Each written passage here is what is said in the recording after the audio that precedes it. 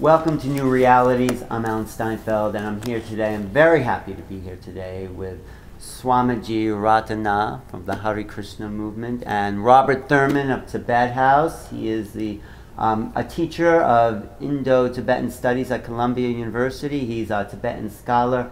Uh, one of his books is um, Why the Dalai Lama Matters. We're going to be talking about the difference and the similarities of these Eastern traditions that has so much affected the West today. Thank you both. Thank you. Thank you. Thank you. So, you know, I brought both of you here because yes. uh, you represent different traditions, Eastern traditions, and there's a common thread there, but there's also differences, you know. This is not too much, not too serious. well, this is um, the Krishna path is a bhakti right. path, That's and right. the Tibetan Buddhist. I want to say Robert Thurman. Would you say you're the um, not the head of the Tibetan scholarship in oh, the U.S.? No, no. no. Well, how would you? What would you call yourself? Oh, somewhat senile, a little bit over the hill, Buddhist scholar. Luckily, to have been a friend of His Holiness Dalai Lama, but not really, not at that level really, and uh, just doing my best as a New Yorker. I'm a New Yorker. As and a human being. Born here on Manhattan Island. Uh huh. And and you and and of course Swami from Chicago. Here we are bringing. That's great, but no, he, the bhakti thing, the the God loving God. Yes. Is very much a Mahayana Buddhist thing as well. Uh, there's the only tiny difference might be monotheism, mm-hmm. the idea of monotheism, but the Indian version of it is so tolerant and open and friendly. You know, Buddha's uh, Krishna is uh, ninth, eighth avatar of Vishnu, and Buddha's the ninth, in their view, and in our view, Avalokiteshvara, the compassion of all living Buddhas, is Vishnu and Shiva whenever people need that. Mm. So there's ways of mutual inclusion that the Indians have practiced for thousands of years. Mm. But is there? It a, works well, actually. But do you, do you find a common theme here with um, compassion? Because they're all you're all about devotion, compassion, service. Exactly. Is that the same? Yeah, well, maybe Buddhists are more lazy. I think he's more hardworking.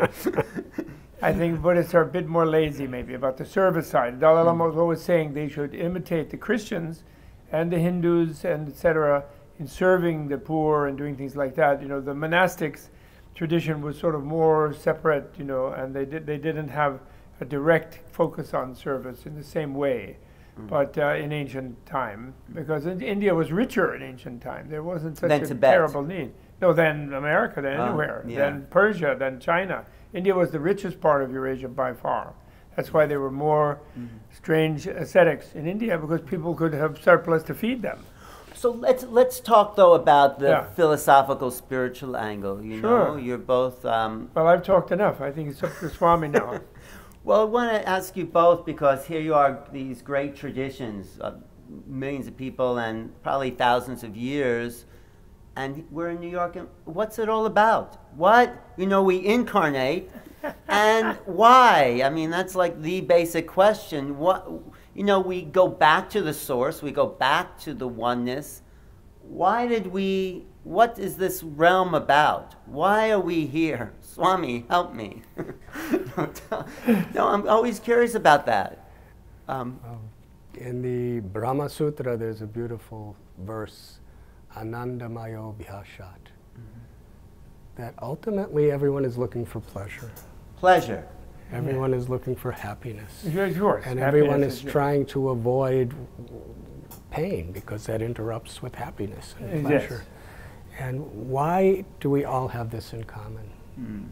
Whether we're animals or insects or birds or any variety of human beings, we're all looking mm -hmm. for pleasure and we're all trying to find relief from pain. Yeah. And mm -hmm. that's true. The origin of this, according to the Vedic literatures, is that the Atma, or the living force, the soul, mm-hmm. is a part of the supreme soul.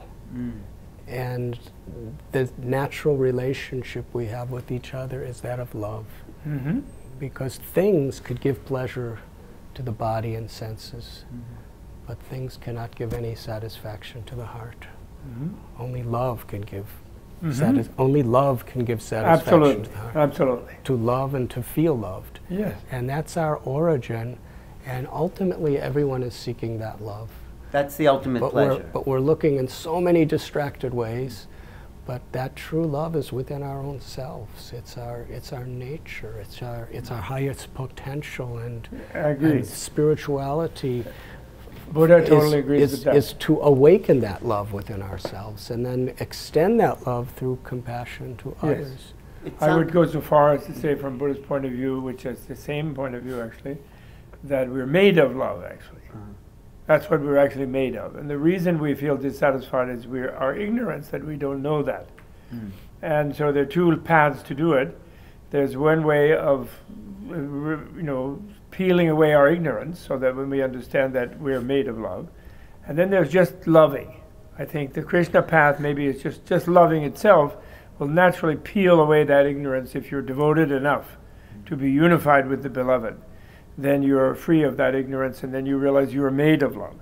And the other way is you have to maybe work critically with wisdom to peel away the love, and then you peel away the ignorance, and then you will discover that you're made of love. But we come But I from think they both agree. They we both agree. All of India agrees actually, and uh, and here in New York we need to find that out. And you were incarnated to interview us. I get that's not the only reason I hope. Well, what do you mean that's not good enough? no, it's okay. But um, but, I'm but just kidding. You interview lots of other wise people, and actually every tradition knows this.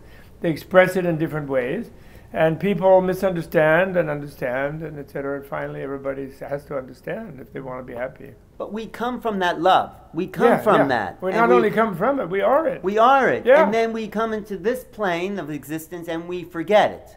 Or we have to relearn. I mean, that's the part I don't understand. Why we we are that love. And why do we come?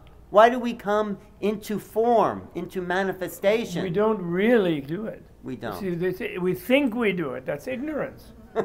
so you don't have to really go why with the big heavy thing because it's just our confusion. We get confused. It's just too good for us. You know, and you know that. Mm-mm-mm. Your your roommate, your wife, your son, your daughter, your parent, right? Right. They come home to your house yeah. one evening and they say, I'm so happy, Al. I, I don't know why. I'm really happy. I just feel happiness is just oozing out of my pores. And do you say, Great? No. You say, What did you drink? What did you take? What happened to you? Are you going to have a manic depressive crash? Are you something wrong with you? No, we are we are confused into thinking that the sane and natural thing is to be sort of resigned to being, m- you know, middle miserable, with the occasional flicker. I think that's old paradigm. I don't think that really is true of the people Really? on a spiritual path. I don't think Well, so. Well, yes, they well even they. Come on, there's a lot of hair shirts, flagellating. Why don't we hear? Let's hear Uh, what's okay, okay. the Krishna. Oh, you're looking for controversy. No, I'm not looking for controversy. I'm looking for understanding. Okay. No, Yeah, it's okay, not controversy. Uh, no, uh, so the the essence of incarnation, it, you know, it's the Atma is to realize the Atma, but we are that. But we are here, and why do we need to discover it if we already are that? Is that I'd like to share an analogy. okay. Good. I heard this from my guru. When a drop of water falls from a cloud, Mm-hmm. it's transparent and clear. But when it gets mixed with mud, Mm-hmm. it loses its transparency. It becomes polluted. If you filter the water, you bring it back to its natural state. So originally, our consciousness is pure. Mm-hmm. Originally, our consciousness is Satchit Ananda, eternal, full of knowledge, and full of bliss. Mm. And that bliss is the, in, in the bhakti tradition, the reciprocation of the love between the soul mm-hmm. and the supreme soul, mm-hmm. and the love between each other based on that mm. enlightenment. Mm. Um, and the spiritual path is like a filtering process because in contact with the things of this world, we become very distracted and Right. very polluted by, Uh-huh. by selfishness and arrogance and greed and mm-hmm. envy and illusion. Mm-hmm. and you know, that's not our, not our natural state. Mm. to Yeah. bring us back to that natural state, to awaken. This body is a physical element. And we are in the body, but we are not the body. Hmm. That's true. But when we forget who we really are, we misconceive that I am this body. And then mm-hmm. when I start thinking I am this body and I am this mind that's ever changing, mm-hmm. then we start to distinguish different types of bodies. Mm-hmm. The Bhagavad Gita, there's a beautiful verse. Vidyavanaya sampane brahmani kabhyasini suni chaiva swapakecha pandita darshana. Our old friend Shyamdas, our common friend, we used Oh, to yes. we used to discuss this verse for Yes. hours at a time. That's right. And it means that an enlightened person, Mm-hmm. one who actually tunes into the spiritual frequency, the divinity within us, sees every living being with equal vision, mm-hmm. whether they're black or white or red or yellow or brown, or whether they're male or female, or Mhm. whether they're Hindu or Muslim or Jew or Christian or Jain or Parsi or Sikh or agnostic or atheist or East or West, or even whether they're humans or elephants or dogs or cats or cows. They see everything as equal. Life is sacred. That living force is a part of Mhm. God. Mamaivam so jiva loke, jiva bhuta sanatana, manashashtanindriyani prakritishtani karishiti. The Gita tells, Krishna says, every living being is part of me. And when we love God, we see every living being as a part, as a child. And then we see everyone with equal vision. Right. And then we naturally respect everyone and we, f- we want to serve. The greatest joy of life is not what we can take, but how we could love through service. It's really beautiful. Beautiful Yeah. path. You know, what, what do you feel the importance of a, of a teacher? You had the Dalai Lama as a teacher, as, Yes.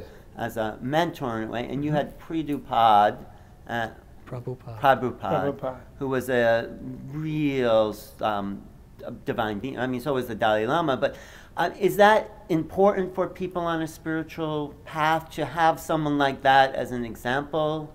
Or can we find this on our own somehow with an awakening? Swamiji.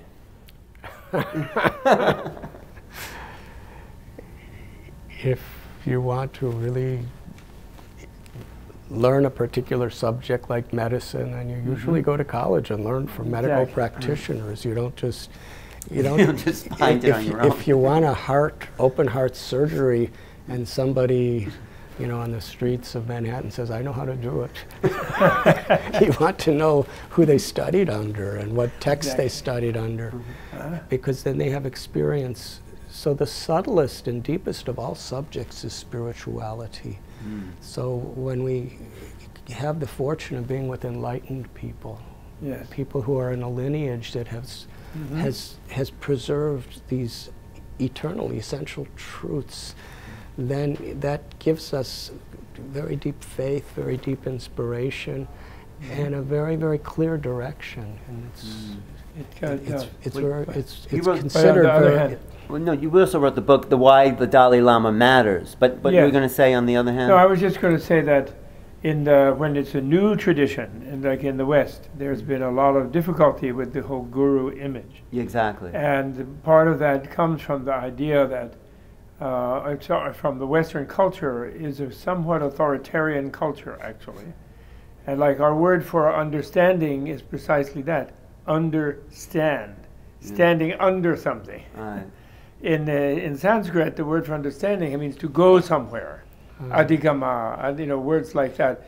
Of course, they, they have knowledge, they have that, but they have also words like adigama, you know, like to go over something. Mm-hmm. So you transform yourself when you realize something. You, the world changes. Mm-hmm. So there's an emphasis in both Hinduism and Buddhism that although the guru uh, may bear the divine knowledge and be able to help you access it, finally you have to open your mind to it.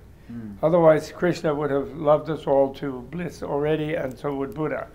but they couldn't do that because our, our misunderstanding makes us block that thing. Mm. So we, you know, when people from our authoritarian culture go and they see someone from this other culture, and then they romanticize it, and then they say, "Oh, I can just depend on that person; they'll save me," that leads to all kinds of unfortunate things. Mm. So it's it's uh, the teachers are totally important, Mhm. but you know, the people have to be, the good teacher is the one who stimulates the wisdom in the student Mm-hmm. and the love in the student and doesn't act like they're going to give them everything.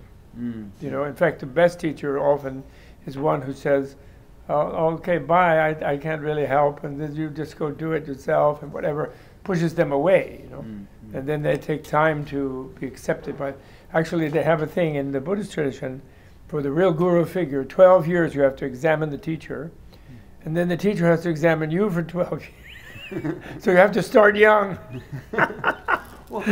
before you can really get into it. So the immediate thing of like, so and so is my guru, I'm saved, or I can't do anything without a guru, that's not correct. Right. They can learn things, they can read the Bhagavad Gita, they can read Swamiji's book, they can read things of different people, study, learn. Then when something really makes sense to them, then they will meet someone, have an intuition, but they won't over project Mm-hmm. that that person alone is going to save them.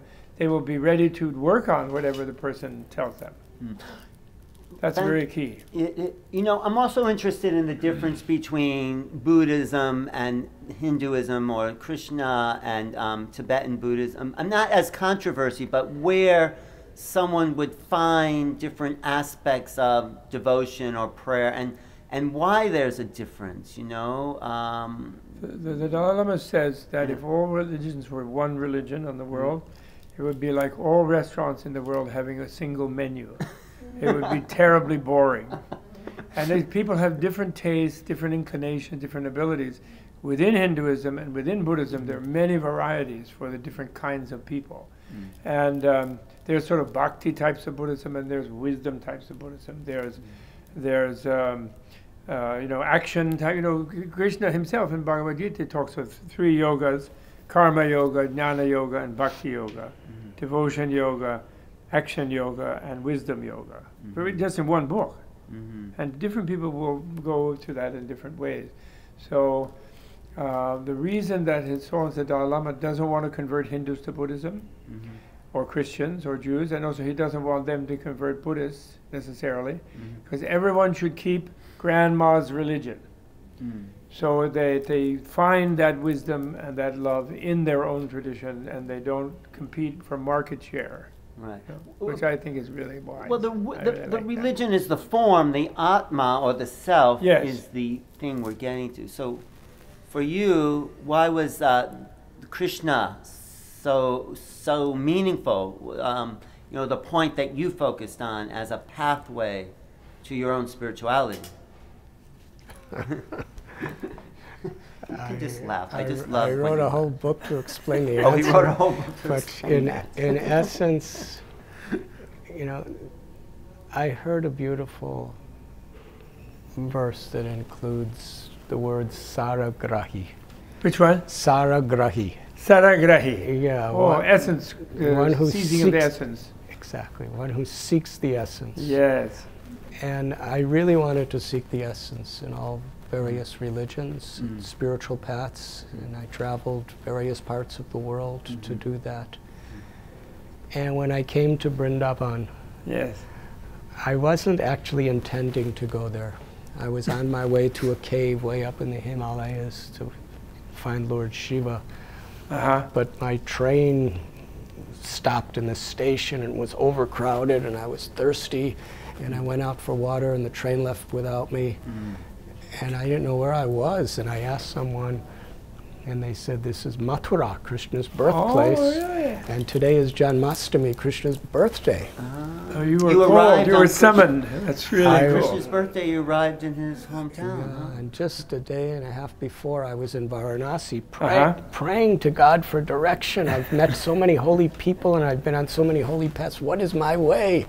And I So felt, good. I felt something really special, like my prayer was going to be answered. And I assumed it was going to be answered in that cave in the Himalayas. Mm-hmm. But I got trapped in mm-hmm. Mathura, Krishna's birthplace. Poor guy. And then I was going to go back to the Himalayas two days later, and I got typhoid fever Ooh. so I couldn't move. Mm-hmm. And I was kind of dying. I was laying on a riverbank. So I was trapped in this place called Brindavan. How old were you at that time?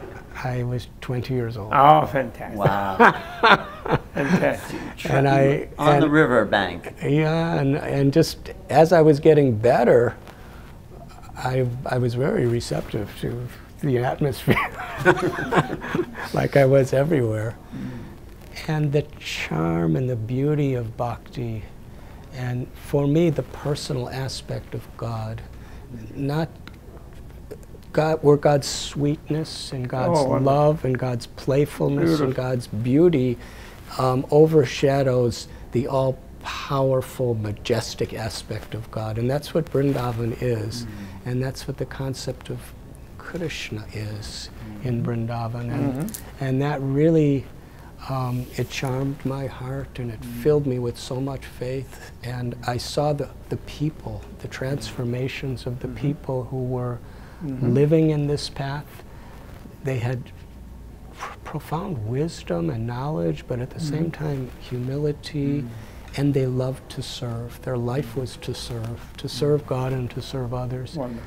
And then ultimately, a few months later, my guru, Prabhupada, came, and his compassion, I just wanted to assist him. And that's how I became like this.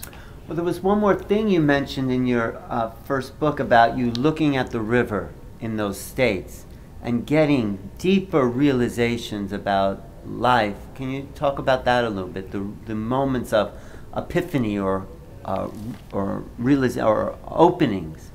Do you know what I mean? In the Bible, there's a beautiful verse that says, Seek and ye shall find, Mm-hmm. knock and the door will open. Mm-hmm. So I really experienced that in my life that if we're seeking spiritual truth, then God reveals those truths to us, and it could be in the most ordinary circumstances that we look at every day. That's You know, wonderful. I would just look at a tree and I'd get so many lessons because I was seeking knowledge from That's God through that tree. And sitting on the river, Mm-hmm. um, when the first day I arrived in the Himalayas, this yogi came up to me out of the forest Uh-huh. and gave me the robes of a sadhu. Really, right away? Yeah, At 20 years old? I was So that's your former life? I was Really? 19 then. Really? I was sitting in the Himalayas on the bank of the Ganges. First day I Uh-huh. arrived, Uh-huh. for several hours just meditating. Uh-huh. And then this yogi comes out of the forest and he hands me these robes like this, but they were white color. Really? And he said that take off your Western clothes and offer them to the Ganges. Really? And I will give you the robes of a sadhu. That is Wow. so cool. That's like Buddha. And I asked, what's... Buddha met some guy, you know, who was actually incarnation of Indra, who gave him the ro- he, t- he switched, he traded robes with him. Oh, I'm not Buddha, but I was No, a little no, teenager. But then what happened when, teenager from Wonderful. Chicago. when you Yes. put the robes on? Did you feel? I asked him, what is a sadhu? I never heard the Ah. word before. And Sadhu. he, he said, a sadhu is one who's homeless and is seeking enlightenment. Mm-hmm. And I hitchhiked from London to the Himalayas seeking enlightenment, so I thought, really that, that, that sounds like me. But I only had one set of clothes, because all my other clothes were stolen in Afghanistan when I was running away from somebody. And um, so I, was, I realized how attached I am to this clothes. yeah. You know, he wants me. To, he wants me to put them in the Ganges. I had these Hmm. pinstripe gray pants and a pinstripe gray You gray still remember that? shirt, You had a pinstripe shirt. and I was, and I really understood how I, I was identifying with these clothes. but this person was looking at me, and I didn't want to disappoint him, so I threw them in the Ganges, and then I put on the robes, and then he told me something. He said, the Gan- he said, Ganga, the Ganges will become your mother. Oh, I You will understand this in time. Yes. And then he walked away, and I never saw him again. Mm. And I found a little cave in the forest that I slept in, and from sunrise to sunset, I just sat in the Ganges bank. I actually sat Really? in, in a rock. And this was in Mathura or near Th- Mathura? No, this was in Rishikesh. This Rishikesh, About right. a year before I got Right. trapped in Mathura. Yeah. And just looking at Mother Ganga, every day I was learning so many beautiful lessons. Mm. You know, how she's always flowing. And I was thinking that, you know, as Mother Ganga is flowing, no matter what obstacle comes before her, she somehow Mhm. finds her way mm-hmm. over it, under it, or around it, but nothing stops her mm. her journey to the sea. Mm. And this really was important to me. It's a I was thing. thinking if I want, if I want to reach the sea of enlightenment, the mm-hmm. sea of what I'm really looking for, I can't let anyone, anything or anyone obstruct me, like Mother Ganga. Or Like, uh, uh, like your family or your clothing or these attachments. Is that what would the obstruction be? Well, in the path of bhakti, attachments can be favorable Oh, if they're if they're not distractions. that's different in Buddhism, isn't it? Atta- because Buddhists said attachments is the source of suffering, and it's Uh, well, That's that's when the attachment's connected to the ego. ah. But the attachment to seva, the attachment to our guru, actually opens the doors to deeper detachment. Yeah, letting go of the ego. In in bhakti, the, the real detachment is the ahankar, the ego that we I try to think be uh, detached it's from. not the attachment; it's being attached to the attachment. well, that's the problem. It isn't really the attachment; it's being attached to. it. But for you, Robert Yes. Thurman, about your attachment, but that moment of, that was beautiful. Ahead. no, I'm just wondering Yeah. about your moment of I'm awake. attached to this now. It's a very nice thing. I'd like to have it I, myself. my wife spent in Khan Market in Delhi recently a lot of time trying to get me to get this Indian vest. Uh-huh. This is like an Indian jacket, Yeah. you know, and then I was resisting. And then that she got me some, and then she made me get like five of them, and I really like them. They're so great. They don't have sleeves, and they're really nice. I think I might have buttoned it wrong, but uh, it's, it's Oh. really great. But was there a moment like like this for you where there's a realization of devoting your life to Tibetan Buddhism or the Dalai Lama or the teachings of, Uh, of consciousness? well, kind of. There were a few moments. Yeah. But um, I guess my moment was um, my, the moment that really dislodged me from my sort of Exeter, Harvard, whatever, U.S. have fun, Mhm. drink wine, dance on the table, sort of Mexican-like But you still do that. Uh, well, I wish. I know. I, I, I probably couldn't uh, barely get on the table now. I have an arthritic attack. But um, uh, was I lost an eye? I lost Yeah. my left eye in a, in a silly accident, which was a life-saving thing. It was like my summoning, I would say. And I was up here in uh, Lenox Hill Hospital for um, for three days unconscious, and then woke up and I only was seeing with one eye. And I immediately called for the Bhagavad Gita, for the Prajnaparamita Sutra, for Hermann Hesse's Siddhartha, for you know all of this kind of thing. And I said I'm going, and uh, to the east. And I didn't really specify Buddhism or Hinduism. I thought it was kind of Buddhism, but I wasn't really sure. And um, I dropped out of everything. I tried to take my uh, my wife and daughter with me, but they refused. They wouldn't go, so I left. Identifying with uh, Siddhartha, you know, leaving the family, this type of thing, and thinking I would come back and make them happy later, and so on, like he did. And um, and then I met different people and so on, and I met a lot of different gurus, in uh, even in Sufis and Christian monks in Greece and all kind of things. Did the same hitchhiking, probably 10 years earlier than you, since I think you're about 10 years younger, maybe 15 years younger. And um, uh, but I got well taken care of by people because they'd never seen an American who was begging for food. You know, they, Mm. they at that time it only soldiers and whatever. You know, and uh, so. Um, that was early 60s, you know, before even all the hippies and all the people, you know. And uh, and then I and I, I saw the Dalai Lama, but I wasn't, you know, but I did really think the Tibetans had, what they had was what India's ancient thing was, where in ancient time in India, before the th- a thousand years ago, the Hindus and the Buddhists were mutually interactive in a mm-hmm. m and the Jains were a very creative way in this wonderful Indian pluralism sort of thing. There was some kind of intellectual competition, but you know, debating and whatever, mm-hmm. but they were really, really working together. You could say, like they still do in Nepal and in Bali to some mm-hmm. extent. I discovered tremendous Hindu-Buddhist connection in Bali. By the way, I just recently discovered the more the depth of it, and. Uh, in the old Srivijaya kingdom, you know, inherited from the ancient Srivijaya kingdom there in, in Java, you know, and Sumatra. And um, so then I met this old Mongolian guy, and um, I didn't even know it was his body. I thought it was someone else, some other lama in the room who must be levitating. I felt this big energy there, you know. Mm. And this w- one guy was like, he was just like you. I thought he was just the, you know, the interviewer. He was like, and he was going to let me see the big lama in the background.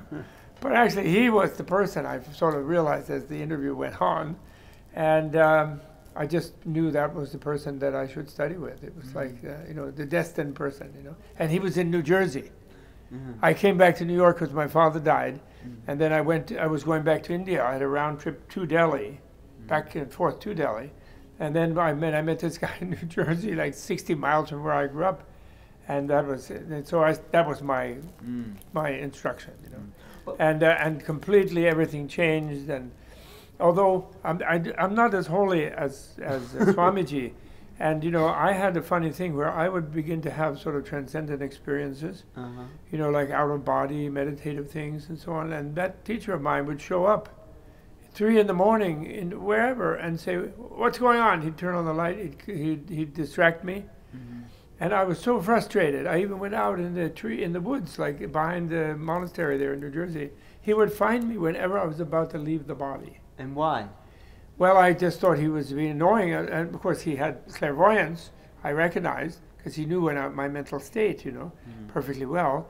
But then he kept bothering me not to do that, and uh, you know, some sort of a, a vast like uh, experience.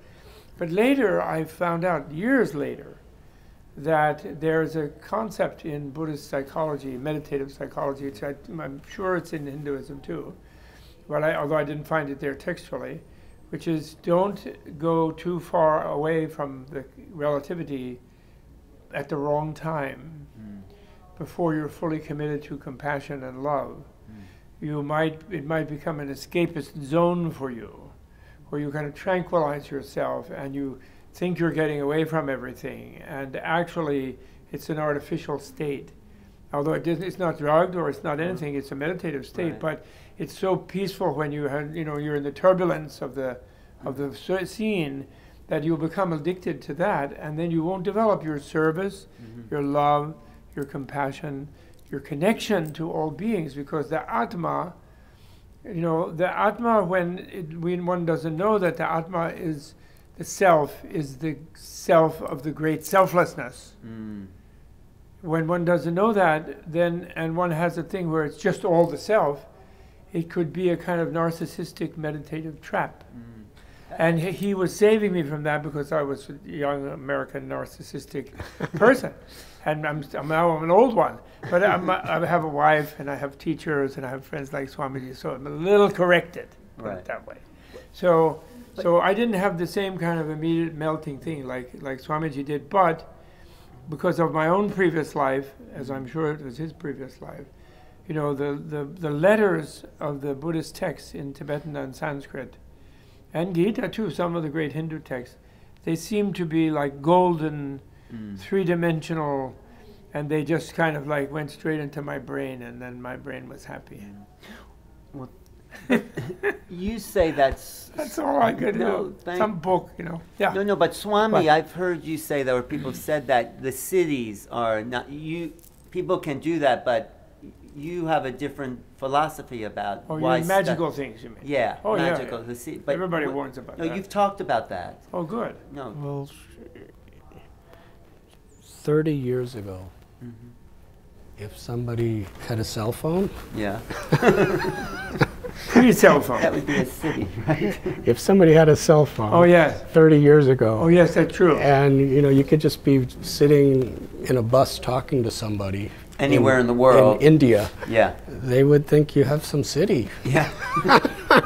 Oh, I see. You meant because of the teacher reading my my mental state. He had a siddhi. No, you're saying. you didn't want you to develop siddhis to No, get I your didn't do that. ego. No, he didn't want you to because it would get in the way of your. No, yeah, but I think the isolation was more important than the siddhi. But But, I- he had the siddhi. Teacher is supposed to have a little bit of a siddhi to know what the student is thinking. But I think Swami is saying you don't. So there's different Need types that. of siddhis. But you're saying don't focus on the siddhi. Samadhi, Yeah, right. samadhi siddhir, Ishvara pranidhana. There's different types of siddhis. Right. But when I lived in the Himalayas, I saw people who could do supernatural things. Oh, sure. Like what? And you know, they could just they could materialize things in their hand just mm-hmm. by chanting a mantra. They can stop their heart and say in in seven minutes and 30 seconds my heart will start again and mm-hmm. doctors would be so i saw these things uh-huh. I saw people who could move things from across the room just by meditation and when you first see it you think this is really far out Yeah. but when you see it a few times it's like you know you could move it like this or you could just go over and move it Right. it's not such a big thing.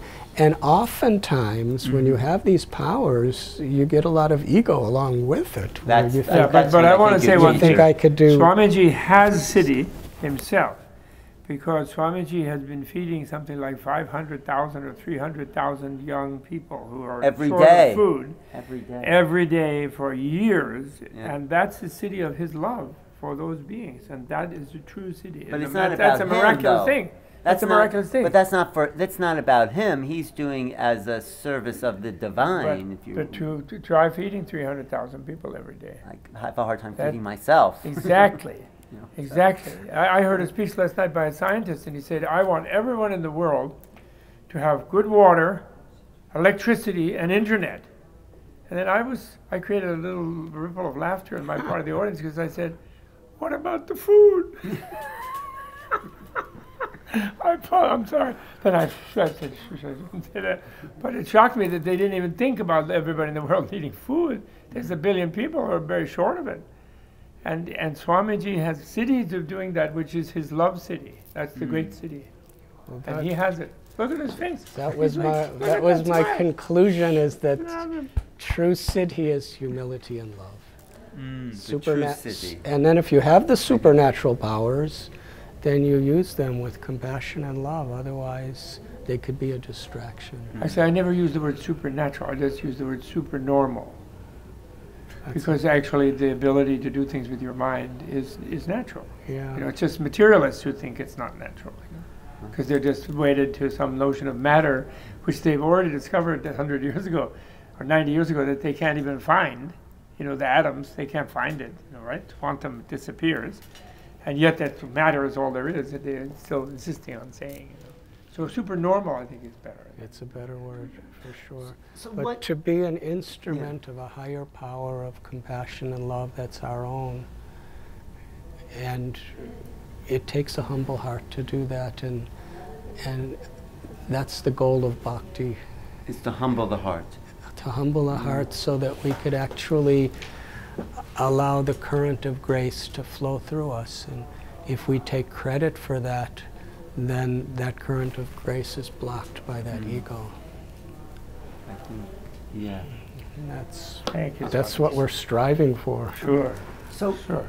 to sort of uh, not we don't have to wrap up um, i don't know what your schedule is but um, there's so many people watching who are looking for a path looking for something you know ayahuasca is a big um, epidemic you know the hallucinogenic Really? Uh, sound in Really? brooklyn it's all over brooklyn there's Really? young kids 20s 30s Really? that are doing this because they're seeking vision they're Sure. seeking uh, consciousness but there's so many people that don't know where to turn and it's not i don't think to these sort of things but what would you tell them what would you tell people watching about finding your own spiritual path and your own truth and your own inner atma how, how do we discover that You first, Swamiji. Unless we find it in a natural way, yeah then we can't really have a sustainable state of enlightenment. not through drugs or Drugs and these um, these ways that don't really awaken the consciousness. mm, They have a temporary effect, and then we become very much dependent on that. And when we become dependent on those drugs, it could usually really damage the mind, It do- and yeah. damage the psychology, and damage our life. the neurology the physiology yeah But you know, through Well, through in in our path, we chant mantras, we chant God's names, we meditate, And that gives a natural awakening Mm. of the true self because ultimately we're trying to come back to our nature. And if we you know, put more and more and more unnatural substances, it becomes a distraction. So to find the true path, even without, let's say, you know, any of those distractions, people should do what? I mean, you could, you both walk to can India. I, can I refine that a little bit Yeah. here in America? Actually, the real epidemic nowadays in America is heroin. yes, that's also. That's the real one. That is. And that, I totally agree with the Swamiji. And also the unsupervised and illegal use of psychedelic or and, and theogenic, as Huston Smith used, the Professor Huston Smith used to call them. I think a nice term he calls them entheogenic. Entheogenic. Uh, those things, although like one time, they can open a door and make one wish to seek further, which is the good use of them. Mhm. And they were traditionally and naturally used that way in South America by curanderos, you know, by shamans and who Mhm. were like priests in those tribal societies. And that has been valuable to people, young or old, I think, in the world. And the hysteria of the Nixon administration lumping those things in with heroin and cocaine Right. and quaaludes and amphetamine and all the other unpleasant things that are very damaging to the system was a very big mistake. You know, they were previously in the hands of psychiatrists mm-hmm. who were kind of like curanderos in the in the West. You know, Yeah. they were like shamans of the West. So so, but the people who then just continue to do that and don't do don't don't don't decide that that stirs me to go look for a real spiritual way of controlling my own endorphins and my Mhm. own adrenochrome and my own natural um, you know hormones that are neurological correlates of enlightened understanding. That's very dis- very destructive and bad. I completely agree with swami. But i wouldn't want to lump all psychedelic thing in with the heroin and all that because that's what the government did in a very destructive way No, and then it became an underground thing no, and it's then people, it ended up that now somehow everybody's all all young people. I had a grandson die of a heroin overdose. oh, really? who was an artist Oh. and um, accidental overdose. You know because that is the real epidemic and the really bad one. You know Right. and how come they can't stop that one? That's what I'd like to know. Uh, You know, but it's true what You you're know? saying. I had an, a, a kind of a spiritual opening with a, a psychedelic, and, and I didn't want to do it again after that. Yeah, it's like once- boom, the door yeah, opened. Once is enough if you want to, but and then you look, but but then it opens the door where you then want to look at your consciousness as being more than just whatever your initial brainwashed thing was. But when you also know? have a revelation like Swami, where you know maybe the illness and then being cured was a kind of another uh, opening, which was. Swamiji like had a lot of like opening experiences in a hundred thousand previous lives, so he's not to be compared in that's a way to the every ordinary person. He's uh, extraordinary. Look, look at him. Where, where were you born in Chicago? In In this life? downtown Chicago. Downtown Chicago. yeah, I was born there, but now I'm back in Mumbai, where I really belong. Did you feel like that was home when you got there? It's like sh- not Chicago. I mean, when you got to India, it's like the lifetimes of. Actually, I I was living in a cave in Greece, Mm-hmm.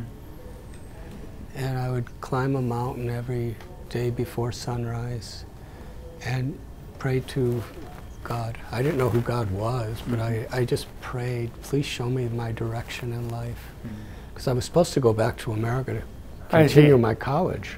Right, right, right. And one evening at sunrise, after I literally cried all day for direction, I heard a voice. It was a silent voice in my heart, but That's I heard wonderful. this voice speak three words. And I knew if I follow this, my life would never be the same. It was go to India. Wow. So I, Go to the east. I Yeah, that's the jumping off point. It's Greece, right? I had no money, so I started hitchhiking through Turkey, Iran, Afghanistan, Pakistan. It That's took so six great. months. Wow. It took six months. So when I finally came to the border of India, the immigration wouldn't let me in because I only had 26 cents. and they said I needed $200 to come in. Oh, really? we have enough beggars in India. Oh, really? So, So that was what, early 70s? That was 1970. 1970. Right. And I was begging, and I was in this no man's land between Pakistan and India mm-hmm. because it was a war zone. Yeah. and I couldn't go back to Pakistan because I didn't have a return visa there, and I couldn't get into India because I didn't have any money. Mm. So I, I begged and I pleaded, and they just completely kicked me away. And Really? finally, after about six hours, the guard changed, Uh, and there was this Sikh gentleman that took the Oh, post, how nice. and he was a soldier. And I went to him, and I cried.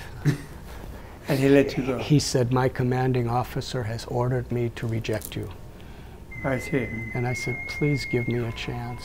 I promise someday I'll try to do something for the people of your country. Oh, that's wonderful. Just give me a chance. really.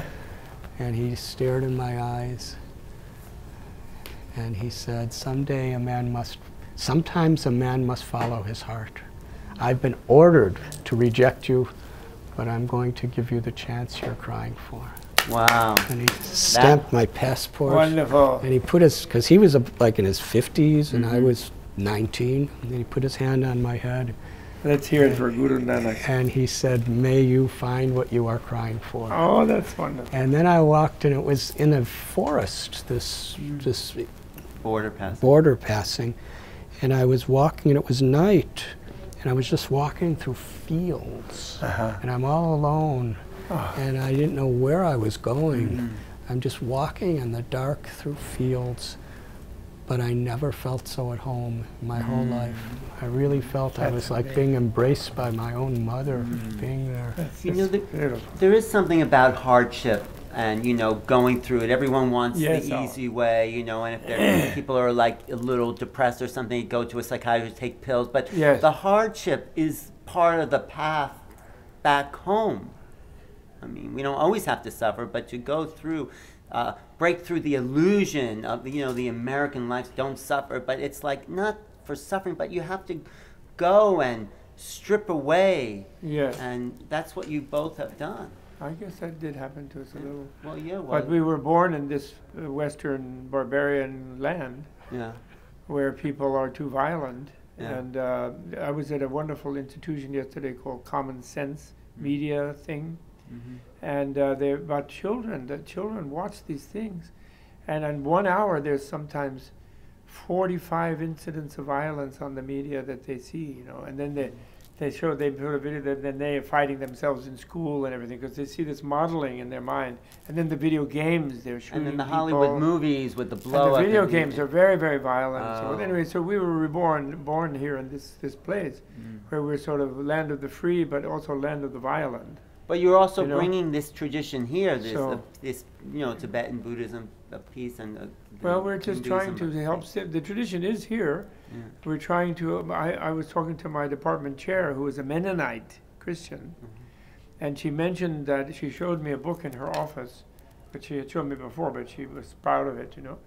And it's called the Domesday Book. It's the Bible, a big, huge book, and it has the whole lineage.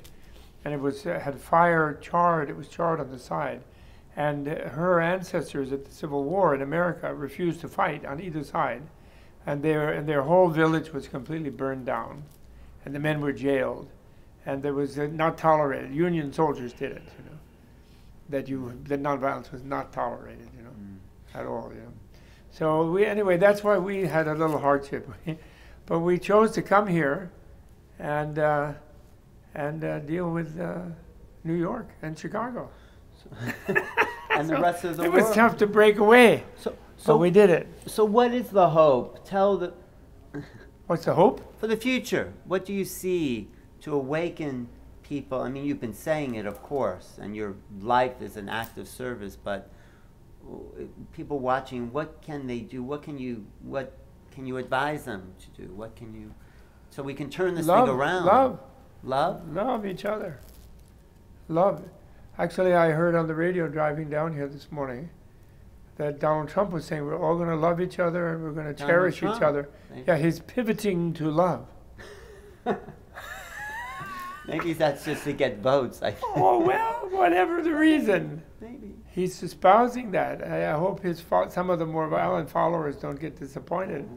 He did say he didn't. He wanted health care for pe- for everyone, so he didn't. People wouldn't have to die on the street. And then That, yes, some of his opponents say, "Oh, so you're a socialist?" He goes, "No, I just don't want people But I'm not promoting uh, Trump. No, I mean, no, I'm not promoting or unpromoting. I am a little unpromoting, but I'm just saying, love is the answer, Yeah. and Swamiji shows it. And we should have people coming forward here in New York, and uh, and Swami can instruct them how to feed everyone in Harlem. We have a lot of malnutrition in the city, Mm. not only in Mumbai, also in this city. And uh, there, what I think there's millions of children who are underfed, and certain people who are supposedly nicer Republicans are cutting their food stamps and cutting their this and acting like that, and they're supposed to like pull them up by the bootstraps when they have no food. Yeah. And uh, and Swamiji has a lesson for us. What, Swami? He does. Tell us, Swami. Okay. you know about the feeding of people and the, what you're Well, doing. I'm sorry, I to- didn't mean to put you on the spot. No, he's on the spot. It's okay. to awaken that love is really the the great question that's before humanity. The love for the other. love for God, love for each other, love for the environment, love for all beings. That's what will satisfy us, and that's what will make our life meaningful, and that's what brings us beyond um, birth and death. Hmm. And to reach that state, there's three principles that we consider very sacred. Okay. One is satsang. Satsang. Satsang means to be with people who inspire us, who hmm. enlighten us, people who give us faith, inspiration, wisdom, direction hmm. in life. That keeping the company of holy people or people who are trying to be holy is very foundational. The second principle is sadhana, Mm-hmm. to actually have a spiritual practice every day. Mhm, You know, we mhm. chant on beads, the, the Mhm, Maha Mantra, mhm. Hare Krishna Mantra, and you know whatever our meditation is, to put some time aside every day to really tune into our own divinity, to tune into mm-hmm. that grace that's within us, because otherwise we're so distracted. We need we need to focus, and that's what sadhana is. Mm. Some some quality time every day for our spiritual practice. And the third principle is sadachar. Sadacha. Mm-hmm. That means to live with character, to mm. live with integrity, to mm. live with humility. And ultimately, they all culminate in seva Mhm. or compassionate service. Service. You know, you've helped me reevaluate my idea of Krishna, of Krishnaism, in, uh, because you know I used to, I was a little prejudiced because I used to, growing up, see these people in airports chanting Hare Krishna and, and asking for money, and it's like, you know, it was just something I didn't relate to. But the chanting of Hare Krishna is a, is a divine chant, and can you explain that? Can you explain the meaning of Hare Krishna and what it does to us, or, or even some of the other um, mantras? But Hare Krishna, what is the significance of that particular mantra? Hare, Hare is a name of Hara or Radha, Radha. which is the feminine, compassionate, motherly aspect of the one God or the Uh-huh. divine. And Krishna means all attractive, all beautiful, all sweet, just the proprietor of all, Mhm. and the source of all beauty and knowledge and strength and fame and wealth Mhm. and renunciation. That's Krishna. That's what the name Krishna means. Ah. And we believe that there's one supreme origin of everything, and Krishna is a name of that God. And he appeared 5,000 years ago. So Radha is the motherly aspect of the Mm. supreme, and Krishna is the all attractive. And we chant these names. Man means when, when these names are contained within a mantra Mhm. and repeated, they have the power of cleansing our hearts. Mhm. Man means mind, trayate means to deliver or to free. So the example is given by Sri Chaitanya that the mind is like a mirror. Uh-huh. And when you look in a mirror, you expect to see yourself. but when the mirror is covered with dust, Ah. many, many generations of dust and pollutions, all you see is that dust, and you think that that dust is me. Mhm. But when you clean the mirror, you actually see yourself.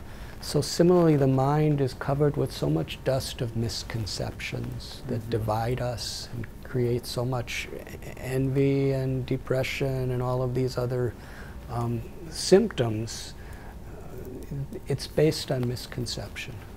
The and dust. The chanting. This chanting is the process of purifying, cleansing the mirror of the mind so we can actually experience our original nature. Mm-hmm. And, and people go into bliss. That in when, that, we, that when the soul sees through the mind, it sees itself.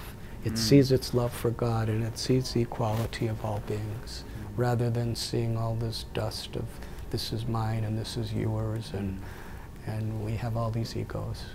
So this chanting is meant really just to cleanse the heart and awaken the original natural consciousness that's within all of us. Mm-hmm. What, what are you chanting there, Robert? Om, Om, Om Mani Hum. And what's that mean? Om Mani Padme Hum. Mani is a jewel, which means universal compassion for all beings. And Padma is a lotus, and it means wisdom. And also the jewel is the male and the Padma is the female principle. And it's the mantra of Avalokiteshvara, that uh, bodhisattva there with the thousand arms, you know, who's Mhm. considered the love of all the Buddhas, universal love of all the Buddhas. And um, Om Padme Hum is the Sanskrit way of Om and Hum are just two mantric syllables. Right. And the thing about chanting that it, that makes them ecstatic and really gets them that's like a sadhana Mhm. where you know normally people have a kind of inner monologue in their Mhm. mind Mhm. like now I should go over here now it's time it's time to go there now it's lunchtime now I should do the other now oh what can I get today what's happening oh no what could not happen oh some bad thing might happen there's like an inner monologue in people's minds Mhm. that is reinforcing their sense of ignorance, separation from the world, and fear and greed and all kind of things. So when you use the speech energy and you focus it on connection to the divine, Mhm. either uh, Hari and Krishna, Krishna and, and Radha, or uh, on uh, you know Avalokiteshvara and Tara, you know the Buddhist version of the same Mhm. thing, then you're sort of unifying your being. You know the speech is so powerful; it unifies your being, and you become one pointed in the, and you become an expression of that divine love and so forth. Uh, or the Buddhists of the Bodhisattva love, which is a kind of divine love too. Ishvara, Avalokita, Ishvara. Ishvara means God. Mhm. Also, don't ever believe that Buddhists are non-theistic or anti-theistic. They just they just don't blame one particular God for the whole problem. they, they just uh, they allow there are divine beings, but they but they but each one of us has to bring out our own enlightenment. Is Mm. what ultimately their idea. So that's the thing about chanting is so important, and why members of his group are become, if they stick to it, they become truly unified with Krishna, and they become a very positive force in the world. That they do. Thank you. So to wrap up, let's just, um, Yes, cute. not at all. You, you You're- two are very cute. I was, well, you too. You're very cute. Well, You're- I'm just. and you do a great thing. You are opening the mind of the of the public into this, and that's wonderful. And that's your spiritual path, and it's a great path, communication. so Well. I'm doing it for myself because I want to learn. Yeah, of course. I want to know. I want to um, understand and also share. yes, So um, to wonderful. leave the people with like uh, some keys to their own enlightenment, can you share some closing words here? I'm always putting him on the spot. I feel like. well, um, he's now passing the baton to me. Om Mani Padme Hum. I would put that one. Okay. That's my closing word. Om Mani Padme Hum. It's like saying everything is all right. You know, there's that guy on TV in the West Village. What was his name? He used to s- look at himself in the mirror and say, it was Saturday Night Live, I think. Oh yeah. And you're really fine, and people actually And like people you, love and you, you're really yeah, yeah, great, yeah, and all yeah. this kind of thing. So that's a mantra that if you go around saying that you're really great, people like you, you like people, you're having a wonderful time, that would be good. So Om Mani Padme Hum is like saying that that energy is actually there if we want to tap into it. And Hare Krishna, Krishna Krishna, Hari Hari, Hari Rama, but I would only add Hari Buddha now and then, because Krishna and Rama are the eighth, seventh and eighth incarnations of Vishnu, who's the all-pervading divine energy, and Buddha's the ninth. So why leave him out? Hari Buddha. Well, maybe because Hari is the feminine principle. Yeah, Buddha's a monk. That's that's why they leave him. but I met in Vrindavan a wonderful uh, sadhu, the head of that monastery where they all have white ash on them, which Shyamdas took me there, and he really liked Buddha, and he was talking about Buddha saved the Vedic people from too much animal sacrifice. And that was a really great thing that he did. And that also the Tibetans should be more vegetarian. He asked me to give a message to the Dalai Lama, which I did. And they have become more vegetarian. But there's no um, vegetables that grow in Tibet. That was the well, problem there's originally. some, there's some, but, but you but the couldn't live on is- that in Tibet. That's true. If you're a nomad, you're a little stuck on that. And they have all kinds of excuses, but they do have some vegetables. And he meant the ones in India who are Mm. still trying to Right. find some meat, which is not a good idea in India. It's much better to eat vegetables. Actually, if the whole world was vegetarian, we'd have a huge surplus of food. Mm. And, you know, it takes like uh, 20 pounds of vegetable protein to produce one burger. Mm. And it's a too huge, and they're starving people, so it's a huge waste. So anyway, this guy, he told me that, and he made, shamed me because I wasn't a good vegetarian. And uh, but he he was a lovely person, really. I, I really liked him. And I said, why don't you sometimes say Hari Buddha? And then he said, well, we we can do that. And then Shyam, uh, two weeks later, I had to go somewhere else, and then Shyam sent me an email, all excited. Two weeks later, they had a parade, and they brought out those banners, you know, the Krishna and the Rama banners, and they had a Buddha banner. It was just they weren't using it, and there were Hari Buddhaing around there. He was so thrilled. He said, "You," because that, that guru told them, He like, told let's let's pay a little attention to the ninth avatar. Come on, you know. you know. Thank- So I So- thought that was fun. That's important for India, I think. You know, it's a, because it's their own, it's their own treasure that they they lost track of. You know, it's Mm. important for them. Yeah, he was recover. definitely. Um, Buddha was a big yeah. deal in India. Yeah. Yeah. So, S- Swami, uh, how can you, like, the uh, close and and give people hope of them finding their own awakening, their own enlightenment, their own realization of their true Atma, divine self? The first principle is to be with people who awaken that understanding of what our true potential really is. That's why I'm with you guys. The, the Atma, the soul, is seeing through the eyes, hearing through the ears, tasting through the tongue, feeling through the flesh, thinking through the brain, loving through the heart. Who am I? Mm. I am that divine source of consciousness. I am a, a part of God, and, and my true potential is to love and to be an instrument of love. And this chanting in, in our tradition, Hare Krishna, Hare Krishna, Krishna Krishna, Hare Hare, Hare Rama, Hare Rama, Rama Rama, Hare Hare, is, is simply a natural way of awakening that love, awakening that compassion that's our true potential and our true nature. And there are many names of God, there are many mantras, and if we live with character and we value the principle of serving, in giving we receive, Mm. then our life can be transformed. And New York City is as divine as the Himalayas if we find if we find that sacred space within our own hearts. And especially in a beautiful place here at Tibet House, it's quite.